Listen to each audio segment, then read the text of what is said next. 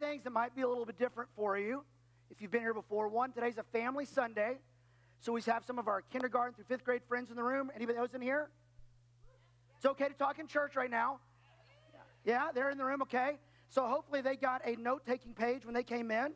There's several blanks I'm going to have you fill in. One of them is who is teaching today. My name's Doug. You can write my name in there.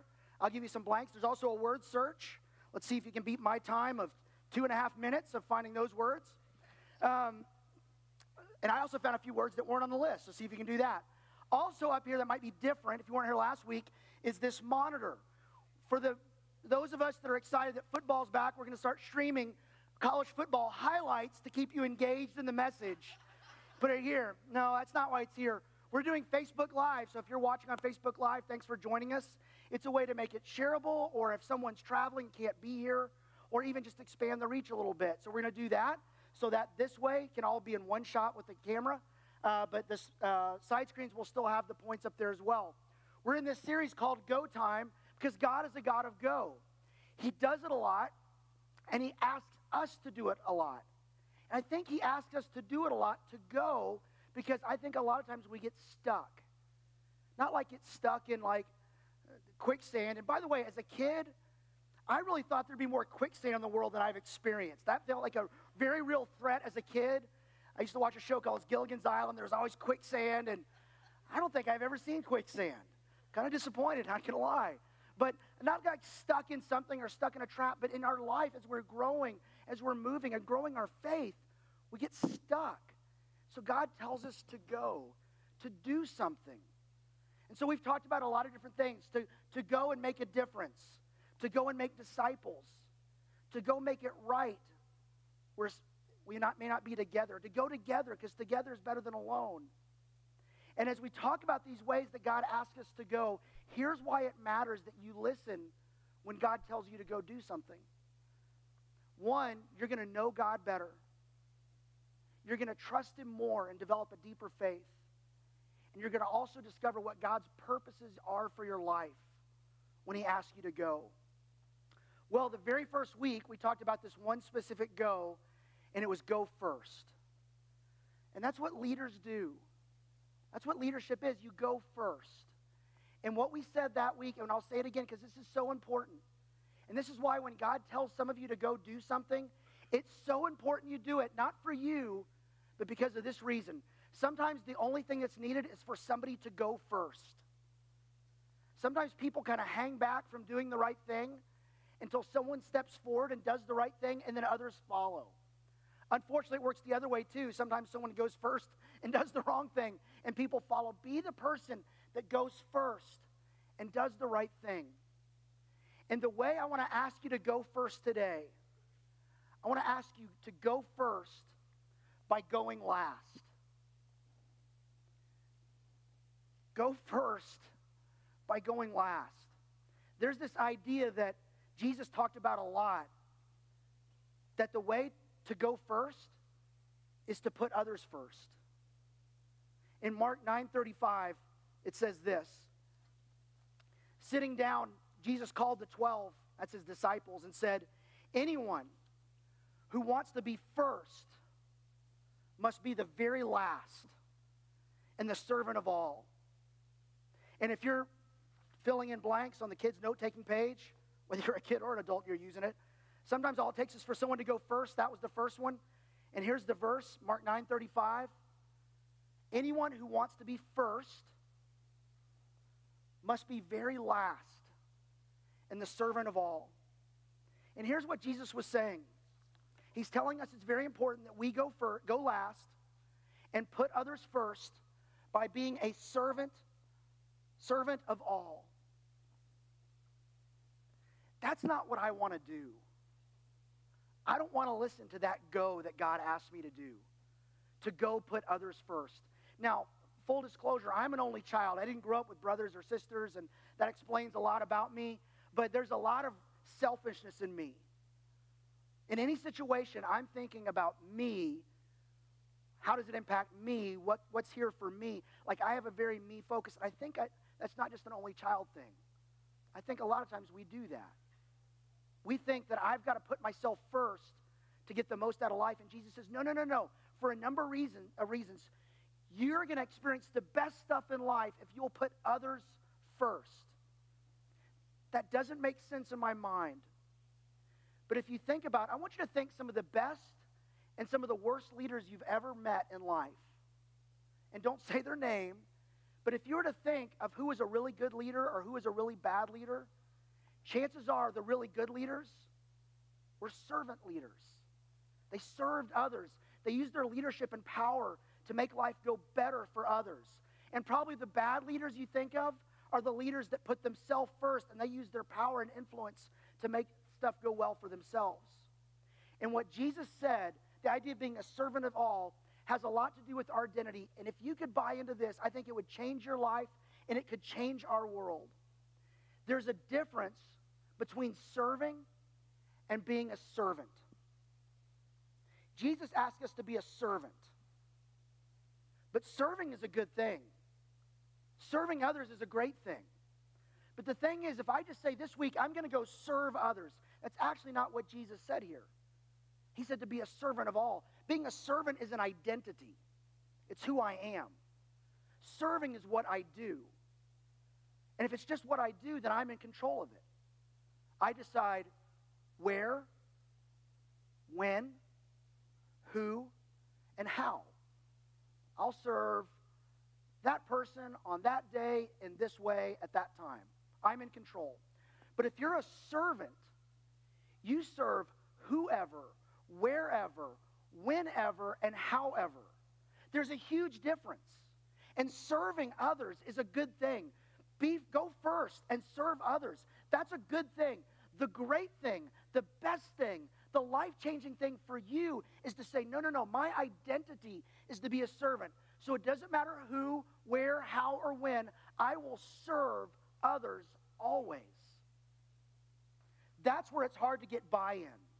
Because I want to control, I want to serve the, right, the certain people at certain times in certain ways on my timetable. But Jesus says, no, you're going to miss it. Be a servant. And if you've ever met somebody like that, they stand out in a good way. I met somebody like that. I'm a hockey fan. I talk about that a lot.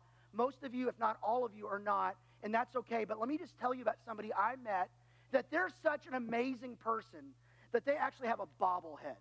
You know what a bobblehead is, right? Like one of these? Like if you have a bobblehead, that means you're somebody, right? Well, this guy's name is Roger Neilson. And he passed away in 2003, and that's Roger. He is in the Hockey Hall of Fame because he was an amazing coach. He was very innovative. He knew the rule book so well that there were at least three occasions they had to rewrite the rules because he found loopholes. I'll give you one example. In hockey, kind of like in soccer, if you're trailing, I think soccer, if you're trailing at the end of the game, you can pull your goalie for an extra attacker. Is that a soccer thing? Close enough. Okay, thank you. So in hockey, it's a thing. So what he did is he read the rules so well. As a matter of fact, like in his leisure time, people said we would see him just reading the rule book and like, you know it already. He goes, no, no, no, there's more in here. And one day he thought about this. So when I pull my goalie, can I? What if he can just leave his stick laying there? So he tells his goalie, hey, in about one minute, Roger says, I'm going to pull the goalie. When you come out, just lay your stick across the goal crease. Sure enough, they, they did it. The puck came down, hit the stick, bounced out, and the referees are going, I think you can't do that. And Roger said, Here's the rules. Here's the rules. Next year, the rule book was rewritten. Three times they rewrote the rule book because he found these loopholes. He was, his nickname was Captain Video. Back in the 60s, he was one of the first people to really bring in looking at video and breaking down game film. It was on a reel to reel projector. He was one of the first people to have his assistant coaches on the bench and in the press box wired into a headset. One of the first people to think of that. He was just this innovative, creative guy. And he spent hours not just being a great hockey coach. What was great about him is he, he, he got the best out of anybody who played for him. They had career years under him. Underperforming teams overperformed. Average players became great players under him. He was very successful. But one of the things about Roger was great, and I actually got a chance to meet him. Have you ever, like, who is it in your life that if you met a certain celebrity for you, you would become speechless. Like, who would that be for you? Maybe Jarrett Culver. Jarrett Culver was at the tech game yesterday. Shout out a name if you met somebody, they would be that for you. Will Smith. Who? Tom Selleck? I'll allow it. Somebody else. Bob Wills? Bob Lilly. I heard a mm-hmm when someone said Bob Wills. That's okay. Uh, anybody else? Mark Hamill. Mark Hamill. So we have actors and musicians and actors and football players. Mine's a hockey player, a hockey coach. Never, never actually played, but he coached hockey. I first met Roger, I was just starstruck. And what struck me first, though, uh, uh quickly, was not, I have trouble talking this, but how much he genuinely took interest in me. And this one of his uh, players and co- uh, assistant coaches that coach, coached with him had this quote to say about him. Think about if this could be said about you. He said this Roger genuinely likes people, genuinely cares about his players, not just their performance, but their lives. And then listen to this you sense quickly it's not just what you can do for him, but what he can do for you. What do people sense when they come across you? Do they sense it's what can you do for me? Or do they sense what can I do for you? I experienced that from him. Roger uh, never married, uh, and so he devoted a lot of hours to hockey, but he also gave a lot of time to the community of serving people and looking after people and kind of making a family just out of players and friends and people that needed connection. He took a large group of people every year to Hawaii, to Maui. One year, Jennifer and I were going to Maui for the first time. And somehow, I met Roger four times, tops. Spoke with him half a dozen times, tops. Roger finds out through a friend that I'm going to Hawaii and calls me. He says, I heard you're going to Maui. When you get there, I want you to go to this place and eat breakfast. Tell them you know me. If you want to go snorkeling or scuba diving, go to this place. Tell them you know me. If you go to this hotel, don't tell them you know me. like, he was really funny. He had a great sense of humor. But I, why would he do that? Because he genuinely cares about people. And you sense, what can I do for you? That's what I sensed from Roger. Twice, he agreed to be a chapel speaker for me um, via uh, speakerphone. It was the days before FaceTime. And he said, Hey, if you ever need a chapel speaker, I'd be glad to talk about my faith to your hockey players uh, on speakerphone. And he did it twice. Just an amazing man. What separates him from everybody else, hockey aside, was how much he valued people and he was a servant of all. And they said you could have been a player, a coach, the guy who drove the Zamboni, that's the thing that resurfaces the ice, the custodian, a fan, just a random person on the street. You got the same experience from him because he was a servant of all. What do people sense from you? Are you a servant of all? Someone who serves others and thinks quickly, how can I, what can I do for you? Jesus later said this in Mark chapter 10. Jesus calls together his disciples and he says, You know how those who are regarded as rulers of the Gentiles lord it over them, and how their high officials exercise authority over them. That's what typically leaders do. They have power, they serve themselves, or they go hammer people down, they drop the hammer on people. Instead, he says, if you're going to be a follower of Jesus, it's go time. It's going to be different with you. What you're going to do is you're going to go do something different. Not so with you. Instead, whoever wants to be great among you must be your servant. Not just go serve others, be a servant. It's your identity. Whoever, wherever, whenever, however. And whoever wants to be first must be the slave or servant of all. And then Jesus says, if you want to know what this looks like, there's an even better example than Roger Neilson. He says, What have you seen in my life? Verse, verse 45. For even the Son of Man, Jesus, did not come to be served, but to serve and to give his life as a ransom for many. And when you look at the life of Jesus, he was a servant of all. And if you're going to be a follower of Jesus, that's what he's going to make you into be.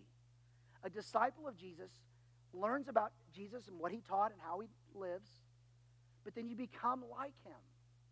and he'll ask you to be a servant of all too. The Apostle Paul challenged us this way in Philippians 2. He said this Do nothing. Okay, that rules out everything. Like, do nothing out of selfish ambition or vain conceit in terms of how you think of yourself higher than others. Rather, in humility, value others above yourselves, not looking to your own interest, but each of you to the interest of others. The only child of me says, But what about me? Like, okay, if I'm always looking after other inter- uh, others' interests, what about me? This is why we live in community. Because that way, if I'm looking after the needs of others, the others are, I'm on their radar. They're looking after my needs too. And rather than just having me looking after my interests, I've got community, I've got others I'm doing life with that are looking after my interest as well. If we buy into this, think how different our world would be if we chose to be a servant of all. And then Paul says, hey, again, here's the example. Verse 5. In your relationships with one another, have the same mindset. That word means attitude or way of thinking as Christ Jesus. How would Jesus think about others if he were in your family, in your classroom, on your team, at your workplace, in your neighborhood? How would he think of others? He'd be a servant of all. And Paul says, if, if you want me to kind of spell, flesh out what it looks like for Jesus, verse 6 and following, it says this Who, being in very nature God, like Jesus is God, did not consider equality with God something to be used to his own advantage. Rather, he made himself nothing, taking the very nature of a, what's the word? Servant. That was his identity. He said, I'm the, I'm, I'm the, I'm the son of God. Everything should revolve around me, but instead, I'm going to step out of that position to be a servant and serve others. Being made in human likeness, basically showing up in the flesh. Being found in appearance as a man, he humbled himself by becoming obedient to death, even death on a cross. And again, think of what Jesus said.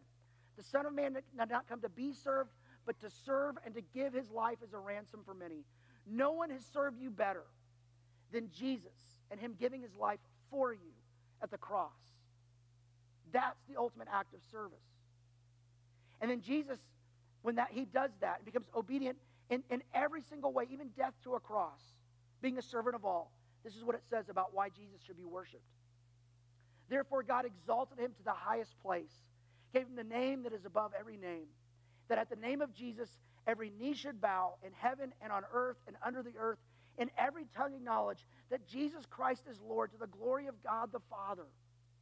Everything Jesus did was to call attention to his heavenly Father. But it also sets an example for us that God celebrates people who are a servant. And he asked us to do that, to make that our identity. Again, Mark 9:35, Jesus said this, sitting down, Jesus called the 12 and said, Anyone who wants to be first must be the very last and the servant of all. So we live in a day and age where they can actually map your mind. They can see things about our brain that we've never been able to see before in history. And what science tells us about, neuroscience tells us about our brain, is there's a part of your brain that lights up, it starts firing when you experience something good. Um, for instance, what's something that would make you smile or kind of enjoy life? Like, what is that for you? Coffee. A tech victory. Grandchildren. Chick fil A. Says the man who works for Chick fil A. Blue. Purple grape, grape Gatorade. Very good. Did anybody say chocolate? Some people it's chocolate, right? Who said chocolate? Right over there? Okay, this is yours. This is a chocolate bar just for you. It's part of my kids' band fundraiser, so I'm basically paying a dollar, but using the message. So, right? Can you catch? We'll see. I think they're applauding the throw more than the catch. I'm sorry about that, but that was right on the money. I led you just kind of out there.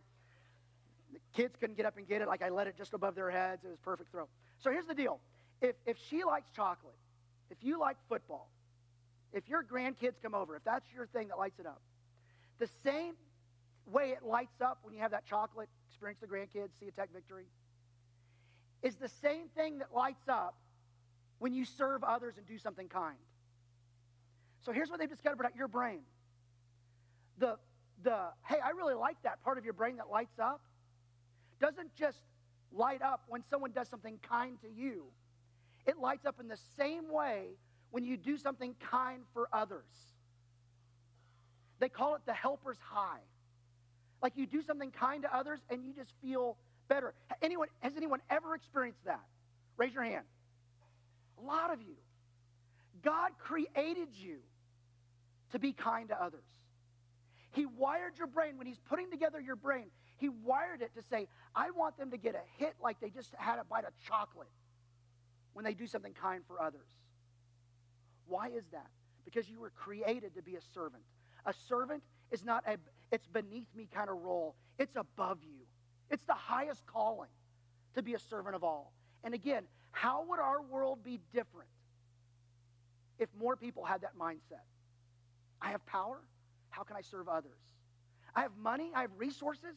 How can I use that to be kind to others? And God said, it's not going to be just completely like a bummer. Like your brain's going to light up to say, I like that.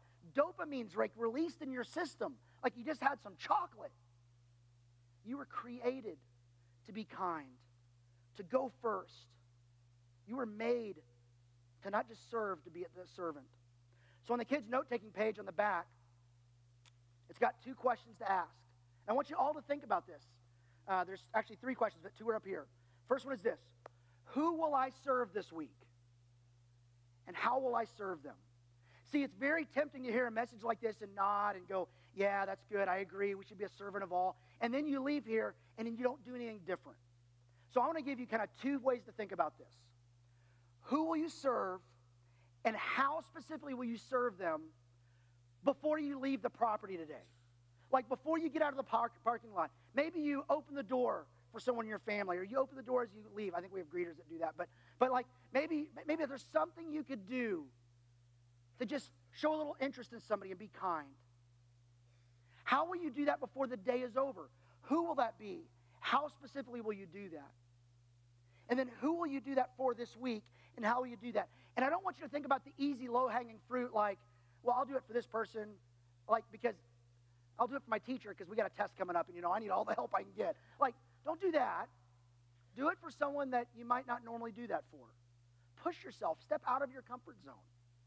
But before you leave the room, I want you to be able to answer the question who will you serve? How specifically will you serve them? You know what we said last week? We talked about what Jesus said. He said, if someone asks you to go one mile, go two. Because at that time, if you lived in, in the, in the uh, Jerusalem, in that area, they were, under, they were occupied by the Roman army. They had a different uh, government ruling their country. And the rule said that if a Roman soldier came up and said, Here, carry my stuff, you had to carry it for one mile, but you didn't have to go any further. One mile was far enough, but you had to do one. And Jesus said, No, go two. Go the extra mile. So if you're thinking about who you're going to serve and how you're going to do that, go further than you think you need to. Serve them above and beyond what would be you think would be expected or normal. Okay, does everybody have somebody in mind of who they're going to serve this week and how they're going to serve them? Does anybody have anything in mind for who they're going to serve and how they're going to serve them? Raise your hand if anybody has that in mind. Okay, I'm going to start calling on people. I'm just kidding. I'm not going to do that. Somebody just really freaked out. Okay, here's the deal. That's an important question. It helps you put it into practice. But remember, Jesus' big challenge to us wasn't the answer to who and how, it was to be a servant of all. So, what I really want to challenge you to do is on a regular basis this week, say to yourself, I'm a servant of all. As, as you, you're going into the classroom, say, I'm here to learn and to be a good classmate, but I'm here to be a servant of all. If you're going in to teach that class, I'm here to be a servant of all. If you're going into your, into your house today, I'm here to be a servant of all. As you go to work and you walk in, I'm here to be a servant of all. And that has less to do with customer service and more about being who God created you to be. Because Jesus, when he showed up, he said, I'm here to be a servant of all, and I want my disciples to follow my example. Now, here's the thing this week, I want to challenge you to do this. Every time somebody crossed your path, every time you lock eyes with somebody, I want you to remind yourself that they matter to God. They matter to Him greatly. And rather than asking yourself, what can they do for me? I want you to silently ask yourself, what can I do for you? Anytime you see somebody, you don't have to say it out loud, but sometimes it's okay to ask.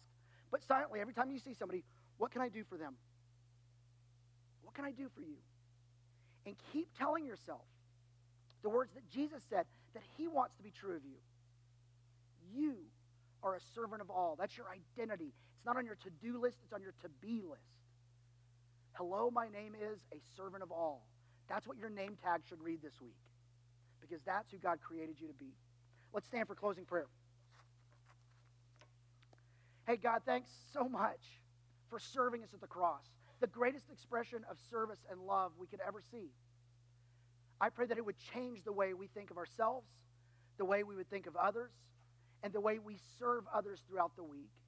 And God, I do pray we get specific and think who and how can we serve. But you called us to do more than that. You called us to be a servant, that to be our identity, that we serve whoever, wherever, whenever, and however. God, thank you that that's your approach toward us. And I pray it would change the way that we love and serve others. Help us to go. It's go time to go put others first and put ourselves last. But thank you that you said that's actually how we win this game in life, that we serve others, because that's when we know we're most like you. It's in Jesus' name I pray. Amen. Hey, thanks for being here. You're out a few minutes early, so give me grace next time I go late.